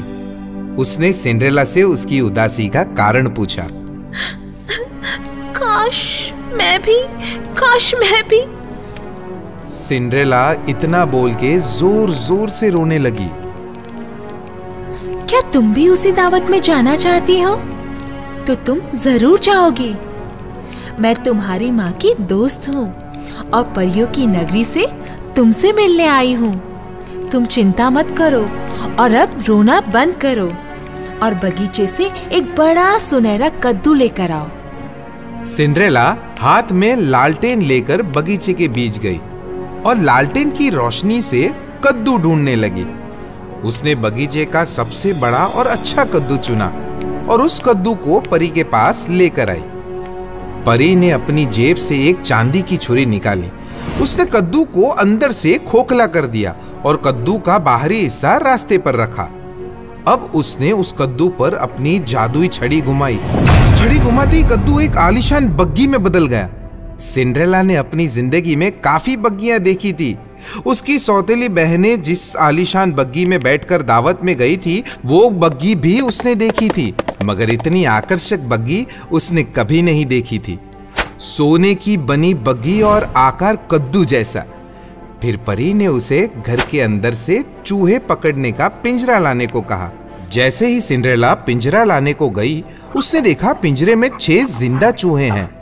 परी ने उससे पिंजरे का दरवाज़ा खोलने को कहा। जैसे ही चूहे पिंजरे से बाहर निकलकर दौड़ने लगे, परी ने उन पर भी जादुई छड़ी घुमाई। सिंड्रेला ये देखकर चौंक गई। चूहे एक एक करके ताकतवर घोड़ों में बदल गए। थोड़ी ही देर में घोड़े बग्गी से जुड़ गए। छह आकर्षक घोड़े जिनका रंग चमकदार था और रेशमी बाल थे। हमें एक बग्गी चलाने वाला भी चाहिए होगा। परी ने सिंड्रेला से कहा जिसके जवाब में सिंड्रेला ने कहा चूहा पकड़ने वाला एक पिंजरा उस झोपड़ी में भी है। मैं देख कर आऊँ। अगर उसमें भी कोई चूहा हो तो हम उसे बग्गी चलाने वाले में बदल सकते हैं। सिंड्रेला पिंजरा लेकर बाहर आई और पिंजरे में उसे मिला एक छोटा लेकिन मोटा चूहा जिसकी बड़ी बड़ी मूछें थी। परी ने उसे एक मौजीले मोटे आदमी में बदल दिया। इस आदमी की मूछें बड़ी प्यारी और आकर्षक थी। परी ने सिंड्रेला से कहा एक बार फिर से बगीचे में जाओ जिस बर्तन से तुम पौधों को पानी देती हो उसके पास तुम्हें छह छिपकलियाँ मिलेगी। उसे मेरे पास ले आओ। जैसे ही सिंड्रेला उन छिपकलियों को परी के पास लाई परी ने उन्हें छह सिपाहियों में बदल दिया। वो बग्गी के पीछे जाकर खड़े हो गए। भाला पकड़कर ऐसी निगरानी करने लगे जैसे पूरी ज़िंदगी यही काम करते आए हों। इसके बाद परी ने सिंड्रेला से पूछा क्या अब तुम खुश हो? हाँ मैं बहुत खुश हूँ। सिंड्रेला ने कहा पर मैं इन गंदे कपड़ों में दावत पर कैसे जा सकती हूँ? परी ने जादुई छड़ी से सिंड्रेला को छुआ और सिंड्रेला के कपड़े भारतीय रेशम से बने बेहद खूबसूरत लिबास में बदल गए, जिन पर दो हंसों का चित्र था। पूरे लिबास में कीमती मोतियों की चमक थी। चांदनी रात में लिबास खूब चमक रहा था। सिंड्रेला के सर पर फूलों और हीरो से बना एक मुकुट सज गया। और उंगलियों में बेशकीमती हीरे और सोने से बनी अंगूठी सज गई। फिर परी ने सिंड्रेला के पुराने फटे चप्पलों को कांच से बने अति आकर्षक जूतों में बदल दिया। जैसे ही सिंड्रेला अपनी बग्गी में बैठकर महल की ओर जाने लगी, परी ने उससे कहा, याद रहे, आधी रात होने से पहले तुम्हें वापस आना होगा। अगर तुम एक क्षण भी ज़्यादा रुकी तो बग्गी फिर से कद्दू बन जाएगी। घोड़े और बग्गी चलाने वाला फिर से चूहे बन जाएँगे और सारे सिपाही छिपकली और कपड़े वही पुराने। सिंड्रेला ने वादा किया कि वो रात 12 बजे से पहले दावत से निकल जाएगी। इसके बाद वो खुशी खुशी बग्गी में बैठकर महल की ओर रवाना हो गई। जैसे ही सिंड्रेला ने बग्गी से बाहर कदम रखा, राजा और राजकुमार सिंड्रेला की खूबसूरती देखकर स्तब्ध रह गए। लोगों ने सिंड्रेला को देखकर नाचना बंद कर दिया। कलाकारों ने संगीत बजाना छोड़ दिया। सबकी नज़रें सिंड्रेला की खूबसूरती को देखकर चौंक गई थी। राजकुमार ने सिंड्रेला के साथ डांस करने का प्रस्ताव रखा, जिसे सिंड्रेला ने स्वीकार किया। कलाकार फिर से अपनी धुन बजाने लगे, पर इस बार उनकी धुन पहले से ज़्यादा मीठी और सुरीली थी।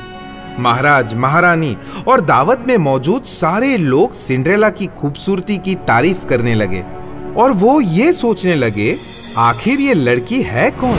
राजकुमार की नज़र सिंड्रेला पर से हट नहीं रही थी। दोनों एक दूसरे में इस कदर खो चुके थे कि सिंड्रेला को समय का होश ही नहीं रहा। जैसे ही घड़ी में बारह बजने वाले थे, सिंड्रेला ने डर कर एक हिरन की तरह महल से बाहर दौड़ लगाई। राजकुमार ने भी उसके पीछे दौड़ लगाई, मगर उसे पकड़ ना पाया। महल की सीढ़ियों से नीचे दौड़ते वक्त सिंड्रेला के पाँव से एक जूता निकल गया। राजकुमार ने वो जूता उठाकर अपने पास रख लिया। महल के द्वारपालों से पूछा गया कि क्या उन्होंने किसी राजकुमारी को बाहर निकलते हुए देखा? द्वारपालों ने कहा कि उन्होंने किसी राजकुमारी को नहीं देखा। उन्होंने सिर्फ़ एक मैले कपड़ों में एक लड़की को यहाँ से जाते हुए देखा, जो शायद कोई दासी होगी। जब सौतेली बहनें दावत से घर वापस लौटी तो उन्होंने सिंड्रेला से कहा कि राजकुमार दावत में आई उस अनजान लड़की को अपना दिल दे बैठे हैं। वो लड़की अचानक ही दावत से गायब हो गई। लेकिन बेचारा राजकुमार अपने हाथ लगे उस लड़की के जूतों को बहुत देर तक तकता रहा। राजकुमार ने हुक्म किया कि उस जूते को रेशम की गद्दी पर रखा जाए और राज्य के सभी घरों में ले जाया जाए। और साथ ही ये ऐलान किया जाए कि जिस लड़की के पाव के नाप का ये जूता होगा, उस लड़की के साथ राजकुमार शादी करेंगे। राज्य की हर कुंवारी लड़कियों को जूता पहनकर देखना था। शुरुआत राजकुमारियों को जूता पहनाने से हुई। सौतेली बहनों की भी बारी आई। राजकुमार का सिपाही जूतों का नाप लेने घर पहुँचा। पहले बड़ी बहन ने जूता पहनने की कोशिश की। उसने बड़ा ज़ोर लगाया, पर जूता उसके लिए बहुत छोटा था। बड़ी बहन के मन में राजकुमार से शादी करने का लालच इतना था कि उसने पाँव छोटा करने के लिए अपने पाँव की उंगलियाँ काट दी। ऐसा करने से पाँव आसानी से जूतों में चला गया, पर सिपाही ने खून देखते ही उसकी चोरी पकड़ ली और उसे नामंजूर कर दिया। फिर छोटी बहन को जूता पहनाया गया, पर उसकी एड़ियाँ बहुत बड़ी थी। उसने भी चाकू से अपनी एड़ियों को काट डाला ताकि जूता उसके नाप का हो जाए। पर जब उसने जूता पहनकर चलने की कोशिश की तब राजकुमार के सिपाही को उस पर शक हुआ और उसकी भी चोरी पकड़ी गई। सिंड्रेला हँसते हँसते बोली क्या मैं भी ये जूता पहनकर देख सकती हूँ? सौतेली बहनों के लाख मना करने पर भी महल से आए सिपाही ने सिंड्रेला को जूता पहनने का आग्रह किया। जैसे ही सिंड्रेला ने अंदर पाँव डाला, जूता उसके पाँव पर ऐसा चढ़ा जैसे मोम का बना हो। बिल्कुल उसी के नाप का। फिर सिंड्रेला ने अपनी जेब से दूसरा जूता भी निकाला और दूसरे पाव में पहन लिया। उसी वक्त उसे वो परी दिखाई दी और उस परी ने अपनी जादुई छड़ी से सिंड्रेला के कपड़ों को इतने खूबसूरत कपड़ों में बदल दिया जो कभी किसी ने देखे ना हो। सौतेली बहनों ने तुरंत पहचान लिया कि दावत में आई वो खूबसूरत लड़की और कोई नहीं, सिंड्रेला ही थी। उन्होंने सिंड्रेला के पाव पकड़कर अपने बुरे बर्ताव की माफ़ी मांगी। सिंड्रेला ने उन्हें चूम कर कहा कि वो उन्हें तभी माफ़ करेगी जब वो उसे भी अपनी बहन मानेंगी। सौतेली बहनों ने वादा किया कि आज से वो उसे सगी बहन का ही सम्मान देंगे। सिंड्रेला को राजकुमार के पास लाया गया। राजकुमार को वो पहले से भी ज़्यादा खूबसूरत लगी। कुछ ही दिनों बाद उनकी शादी हो गई। सिंड्रेला जितनी खूबसूरत थी, उतनी ही नेक दिल भी थी। उसने अपनी बहनों के लिए बहुत अच्छे पति ढूंढे, जो अमीर भी थे और अच्छे भी। और फिर सिंड्रेला और राजकुमार हमेशा साथ साथ खुश रहे। सोती हुई राजकुमारी बहुत साल पहले एक राजा और एक रानी थे, जो बहुत निराश थे। उनकी शादी को बहुत साल हो गए थे, पर उनका बच्चा नहीं था। उन्होंने हार मान ली थी। अंत में उनके यहाँ एक लड़की का जन्म हुआ और उनकी अंतिम इच्छा पूरी हुई। सब जगह बहुत खुशी फैल गई थी। क्रिसमस समारोह में कोई कमी नहीं थी। राजा और रानी ने एक परी के अलावा सभी परियों को आमंत्रित किया था। वहाँ तेरह परियाँ उपस्थित थी, पर उन्होंने सिर्फ़ बारह परियों को ही आमंत्रित किया था। परंतु किसी के ध्यान में नहीं आया कि वहाँ तेरह परियाँ उपस्थित थी। एक वृद्ध परी थी, जो किसी को पसंद नहीं थी, क्योंकि बाकी सभी युवा और सुंदर थी। इसीलिए कोई उन्हें बुलाता भी नहीं था। क्रिसमस के समारोह में तेरहवीं परी बहुत गुस्से में और हद से ज़्यादा मेकअप लगाकर आई थी, क्योंकि उसे नजरअंदाज किया गया था। वृद्ध परी को गुस्से में देखकर युवा परी ने अपने आप को छुपा लिया, जिससे वृद्ध परी ने जो नुकसान सोचा था, उसका सामना कर सके और समारोह अच्छा बने। फिर परियाँ राजकुमारी को तोहफा देने लगी। पहली परी ने सुंदरता दी। दूसरी ने इंसानियत तीसरी ने तेजस्विता, चौथी ने उसे अति सुंदर डांसर बनाया। पांचवी ने उसे सुरीली आवाज़ दी, छठी ने उसे सारे म्यूजिकल इंस्ट्रूमेंट्स बजाने की कला दी। इन सबने बहुत कुछ दिया। उसके बाद वृद्ध परी की बारी आई। और वो गुस्से में राजकुमारी के पालने के पास आई। और गुस्से में राजकुमारी को कहा उसके जीवन के पंद्रहवें साल में उसकी उंगली चरखे में आ जाएगी और वो मृत्यु को प्राप्त करेगी। उसके बाद वो मुड़ी और उस भयानक माहौल से चली गई क्योंकि सब उससे गुस्सा थे और उसे कोसने लगे। ये देखते हुए युवा परी जहाँ छिपी थी वहाँ से बाहर आई। चिंता मत करो। ये सच है आपकी बेटी मरेगी नहीं। मैं कोई परी की इच्छा को नाकाम नहीं कर सकती। परंतु आपकी बेटी नहीं मरेगी, वो नींद में चली जाएगी, जो कि सौ साल तक रहेगी। और उसके बाद एक राजकुमार आकर उसे जगाएगा और व्रत परी का श्राप पूरा हो जाएगा। राजा ने खुद की बेटी का जीवन चरखों से बचाने के लिए उसी वक्त आदेश दिया कि राज्य के सभी घूमने वाले चक्र और चरखों को जला दिया जाए। सभी परियों के आशीर्वाद सच होने लगे। लड़की सुंदर, दयालु, तेजस्वी होने लगी। अब वो लगभग पंद्रह साल की हो गई थी।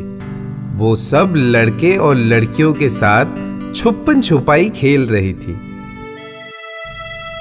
जब उसके छुपने की बारी आई तो वो दूर तहखाने में जाके छुप गई। जो बहुत साल पहले बनाया हुआ था। वहाँ ऊपर एक छोटे कमरे में पहुँच गई और वहाँ जाकर देखा तो एक वृद्ध स्त्री चरखे के पास बैठी थी और चरखे के घूमने के साथ धागों के टुकड़े जुड़ रहे थे। ये क्या कर रहे हो आप? मैं चरखा चला रही हूँ। स्त्री ने राजा का आदेश सुना नहीं था कि सभी चरखे तोड़कर गाड़ दिए जाए। और ये लड़की कौन थी ये भी पता नहीं था। कभी तो मैं टुकड़ों में से लीनन काटती हूँ कभी भेड़ की चमड़ी में से रुई काटती हूँ कभी तो मैं स्त्रियों के लिए सुनहरे रंग के धागों में से वस्त्र भी बनाती हूँ। क्या ये कठिन काम है? हाँ हाँ थोड़ा बहुत। मैं कोशिश करूँ? हाँ ज़रूर। स्त्री ने राजकुमारी को चरखे के पास बैठने दिया और चरखे की सुई की नोक राजकुमारी की उंगली में लगी और वो बेहोश हो गई। वृद्ध परी का श्राप सच हुआ। वृद्ध स्त्री मदद के लिए चिल्लाने लगी और रोने लगी और लोग किले के कोने कोने से दौड़ कर आ रहे थे। सबने पानी छिड़क कर राजकुमारी को जगाने का प्रयत्न किया। पर कुछ काम ना आया। ये बात पता चलते ही राजा ने आदेश दिया कि राजकुमारी को उसके मुलायम बेड पर सोने की रजाई उड़ाकर सुलाया जाए, जब तक सौ साल पूरे न हो।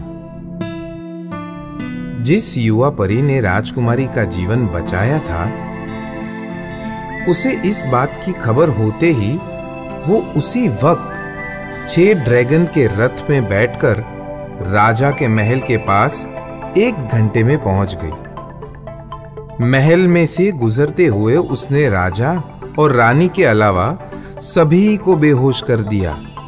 नेता, सेनापति, सैनिक, नौकर, सेवक, रखवाल, द्वारपाल, सभी को।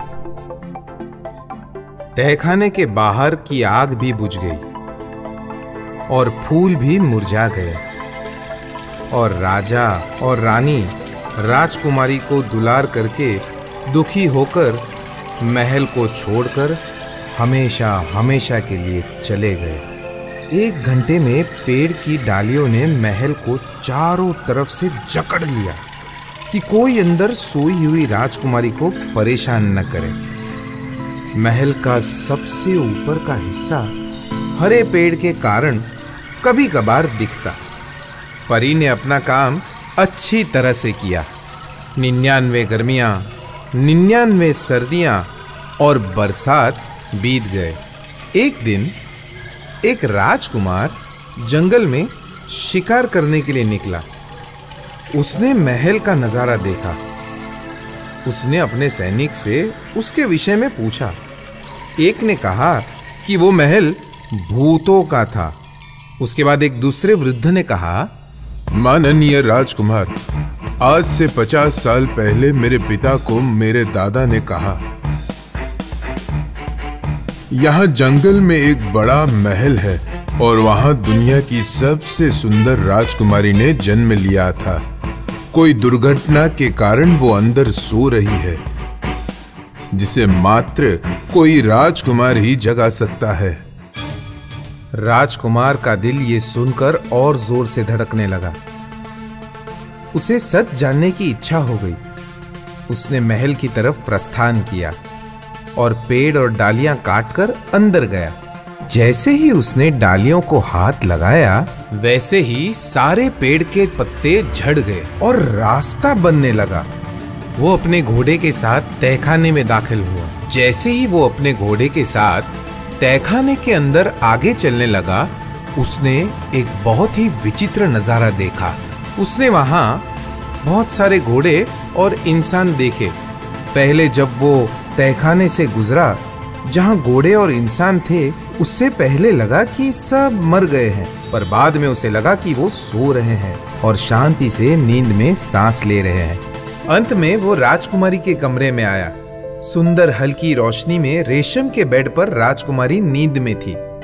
राजकुमार बेड के पास पहुँचा और राजकुमारी के चेहरे की तरफ़ बैठ गया। राजकुमारी की उंगलियाँ आरामदायक स्थिति में एक छोटे पप्पी पर थी, जो राजकुमारी की गोदी में सोया हुआ था। राजकुमारी के होठ हंस रहे थे। उसने एक सुंदर सपने में राजकुमारी को सोते देखा और अंत में राजकुमार ने नज़दीक जाकर राजकुमारी के माथे को प्रेम से चूमा। और अब राजकुमारी की नींद पूरी हो गई और उसके होठ के स्पर्श से राजकुमारी जाग गई और श्राप पूरा हुआ। मैं आपकी सालों से राह देख रही थी। वो दोनों जहाँ जहाँ से गुजरे आसपास के सभी लोग जाग गए।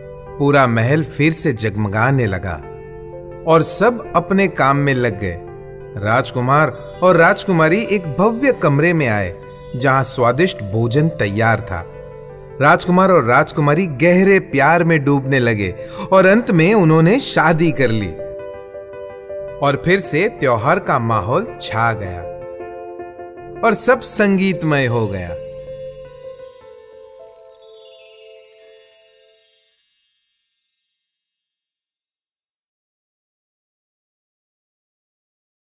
रम्पल स्टिल्सकिन एक समय की बात है एक गाँव में बहुत गरीब बुनकर रहता था और उसकी एक बहुत खूबसूरत बेटी थी।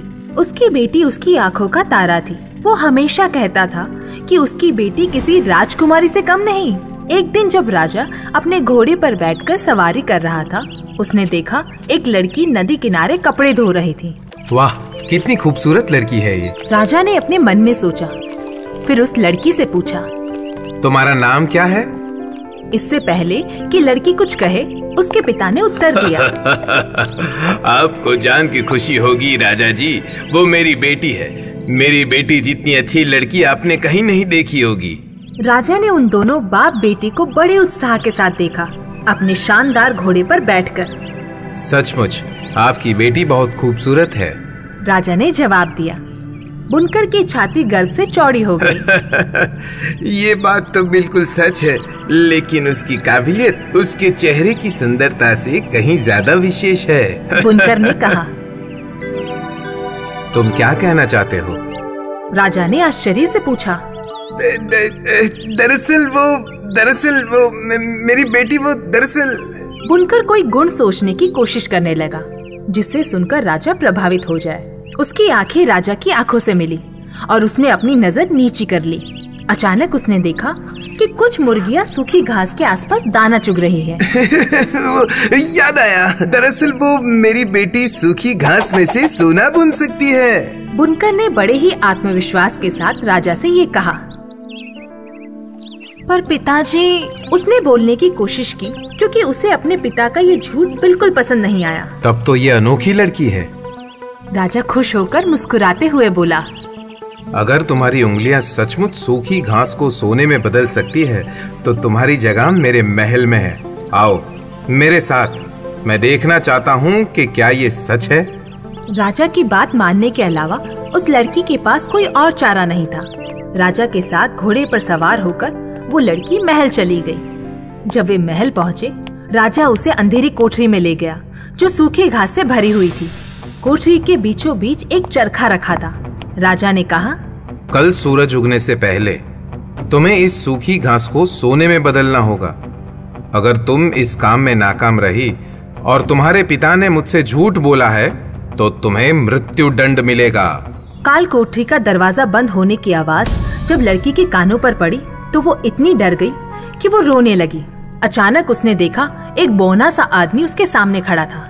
क्यों रो रही हो? उसने पूछा। मैं बहुत दुखी हूँ। वो रोते हुए बोली राजा ने मुझसे कहा है सुबह तक सारी सूखी घास को सोने में बदलना है। मुझे नहीं पता मैं ये कैसे करूँगी? अगर मैं ये काम कर दूँ तो मुझे क्या मिलेगा? बोने ने लड़की से पूछा ये मेरे गले का हार। लड़की ने बोला बोने ने वो हार अपने हाथों में लिया और चरखे पर बैठ गया। कुछ ही समय में उसने सारी सूखी घास को बुनकर उसे सोने के धागों में बदल दिया। सुबह सूरज उगते ही राजा कोठरी के पास आया और उसने कोठरी का दरवाज़ा खोला। अपने आसपास इतना सोना देखकर राजा बेहद खुश हुआ। राजा का लालच यही नहीं थमा। अपने सिपाहियों के भरण पोषण के लिए उसे और भी बहुत सारा सोना चाहिए था। वो सैनिक जिन्होंने उसके राज्य को दुश्मनों से बचाकर रखा था वो बुनकर की बेटी को एक बहुत बड़े अंधेरे कमरे में लेकर गया और उससे कहा सारी सूखी घास को सुबह तक सोने में बदल दो। उस रात लड़की फिर से रोने लगी क्योंकि उसे पता था कि ये उससे नहीं हो पाएगा। पर वो बौना आदमी फिर से उसके सामने आ गया और उसने फिर से पूछा अगर मैं तुम्हारे लिए फिर से सारी सूखी घास को बुनकर सोना बना दूँ तो मुझे क्या मिलेगा? मेरी कमर का ये पट्टा मैं तुम्हें दे सकती हूँ उसने कहा उस बौने आदमी ने वो पट्टा हाथ में लिया और फिर से चरखा घुमाने लगा और जल्दी ही एक के बाद एक सोने के धागों से बड़े बड़े गोले बनते गए। जल्दी ही सारी सूखी घास सोने में बदल गई। ये देखकर राजा खुशी से फूला नहीं समाया। उसे पता था, अगर वो थोड़ा और सोना जमा कर लेगा तो उसके राज्य में फिर से खुशहाली लौट आएगी। इसीलिए उसने महल के सबसे बड़े कमरे को सूखी घास से भर दिया और उस लड़की को अंदर छोड़ दिया। अगर तुमने ये सारी घास सुबह तक बुन ली तो मैं तुम्हें अपनी रानी बनाऊँगा। और उसके बाद तुम्हें कभी फिर से सूखी घास सोने में नहीं बदलनी पड़ेगी। जब वो लड़की अकेली थी वो बौना आदमी उसके सामने आया और बोला सूखी घास को बुनने के बदले में इस बार मुझे क्या मिलेगा? मेरे पास तुम्हें देने के लिए अब कुछ नहीं बचा उसने जवाब दिया। तो तुम्हें मुझे एक वादा करना होगा। कि जब तुम रानी बनोगी तब तुम अपना पहला बच्चा मुझे दे दोगी। बौने आदमी ने कहा लड़की ने सोचा कि वो वक्त आने से पहले बहुत कुछ बदल गया होगा। इसलिए उसने उस आदमी की बात मान ली और उससे वादा कर दिया। जब राजा सुबह वापस आया तब उसने पूरा कमरा सोने से भरा हुआ पाया। अरे वाह! बुनकर की बेटी तुमने तीन रातों में मुझे इतना सोना दिया है जितना किसी राजा के पास नहीं होगा। तुम जितनी खूबसूरत हो उतनी ही अनोखी भी। क्या तुम मेरी रानी बनना पसंद करोगी? इस तरह बुनकर की बेटी जिसे राजा बहुत पसंद था वो उसकी पत्नी बन गई।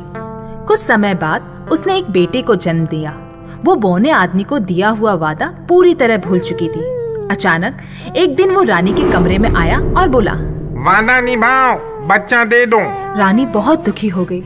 वो बौने आदमी के सामने गिड़गिड़ाने लगी कि चाहे जो भी हो उसकी सारी दौलत ले ले पर उसके बेटे को ना ले जाए। बौने आदमी ने कहा तुम्हारी आँखों में तुम्हारे बेटे की जुदाई का दुख देखकर मैं तुम्हें उसे बचाने का एक मौका देता हूँ। तुम्हारे पास तीन दिन है। अगर तुमने मेरे नाम का सही अंदाज़ा लगा लिया तो तुम अपने बेटे को अपने पास रख सकती हो। रानी सारी रात जागती रही। वो सारे नाम याद करने की कोशिश करने लगी जो उसने आज तक सुने थे। जब वो बौना आदमी अगले दिन वापस आया उसने नाम लेने की शुरुआत की। डेविड एल्विन फ्रांसिस पर हर नाम सुनने के बाद वो एक ही बात कहता। नहीं नहीं ये मेरा नाम नहीं है। अगले दिन रानी ने महल की सारी किताबें पढ़ ली और सारे पेचीदे नाम याद कर लिए। उसने बौने से पूछा तुम्हारा नाम जॉन है? जॉनी? या मैथ्यू? पर वो हमेशा एक ही बात दोहराता। नहीं नहीं ये मेरा नाम नहीं है। तीसरे दिन उसने सिपाहियों को शहर के हर कोने में भेजा। ये देखने के लिए कि लोग अपने बच्चे को कौन कौन से नाम से बुलाते हैं। कुछ देर बाद एक सिपाही आया और बोला रानी साहिबा मैं कोई नया नाम तो अब तक नहीं जान पाया मगर दूर पर्वत पर जो जंगल है जहाँ सिर्फ़ जंगली जानवर रहते हैं वहाँ मैंने एक बौने आदमी को आग के इर्द गिर्द नाचते गाते हुए देखा। कभी कोई नहीं पाएगा ये जान। कभी कोई नहीं पाएगा ये जान के रम्पेल स्टील स्किन है मेरा नाम। रम्पेल स्टील स्किन है मेरा नाम। नाम सुनकर रानी की खुशी का ठिकाना नहीं रहा। जब रात को बौना आदमी फिर से आया तो रानी ने उससे पहले पूछा क्या तुम्हारा नाम एल्बर्ट है? नहीं। क्या तुम्हारा नाम रोनी है? नहीं नहीं। तो क्या तुम्हारा नाम रंपल सिस्किन है? धत तेरी की यही तो है यही तो है। वो चिल्लाकर महल से बाहर इस तरह भागा कि वो दो हिस्सों में बट गया।